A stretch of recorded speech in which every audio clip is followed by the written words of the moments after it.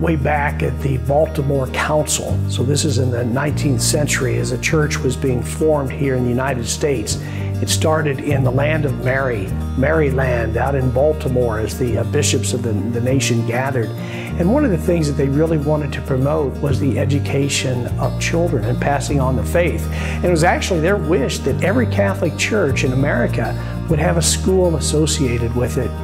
And it seems to me that here in the Northland, uh, we are pretty good about that. Certainly, we have wonderful programs in our schools of religion they offer one hour a week in, in religious education. Of course, the Catholic schools, if you take the seven uh, days of the week, five of them, which usually we're in school, and about a seven hour day, we've got about 35 hours of uh, religious enculturation that benefits uh, kids and families because the children do uh, bring home to their families uh, that enriching sense of God's love, uh, not only through the religion class, but the way in which it incorporates into other aspects of learning and of living.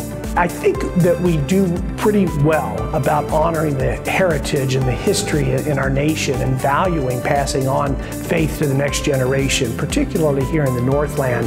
And we're so blessed to have the schools that we do and a Catholic high school that helps us to live out that faith at stages of education.